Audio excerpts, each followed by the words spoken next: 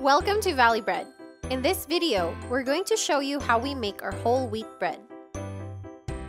Whole wheat bread is made with wheat flour, coarse flour, salt, sugar, yeast, baking powder, and water mixed together for 12 minutes.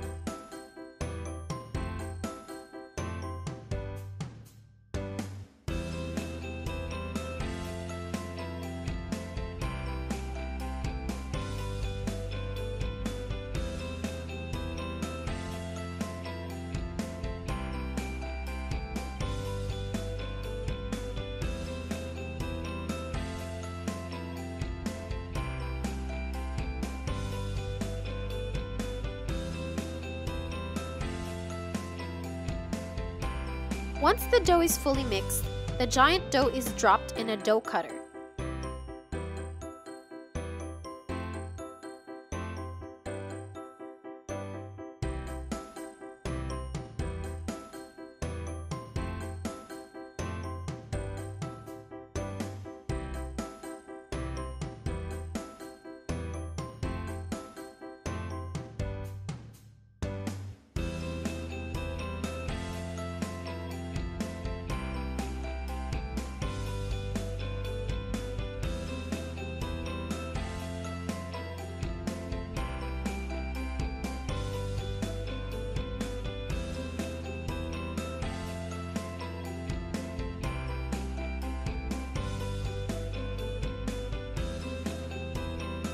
The dough is cut then weighed for quality control.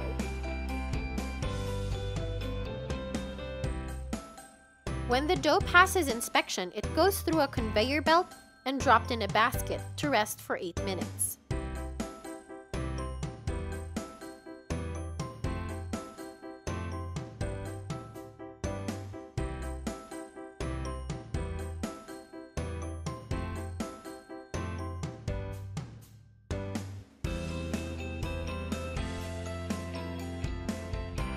The dough is then dropped on a conveyor belt to be rolled and formed before it is loaded onto bread pans.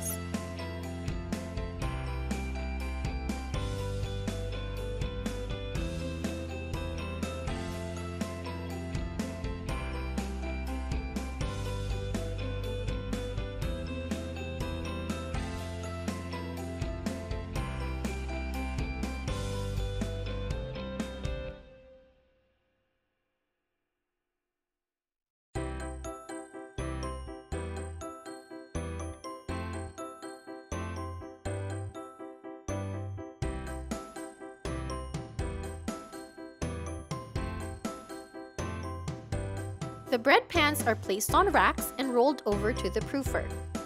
The bread dough is left to rise for about one hour before baking.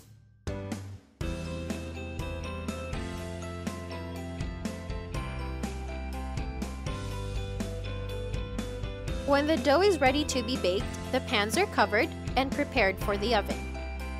The bread pans are then loaded onto a tunnel oven. It takes 33 minutes for them to go from one end to another. When the pans reach the end of the tunnel, the loaves are fully baked. The newly baked loaves are placed on a conveyor belt to be cooled. The cooling process takes about 1 hour and 30 minutes. By the time the loaves are cooled, they are moved to another conveyor belt to be sliced, packaged, and sealed. The freshly baked loaves are cooled, then packed individually. Thank you for watching! Don't forget to check out Valley Bread's whole wheat bread at a supermarket near you.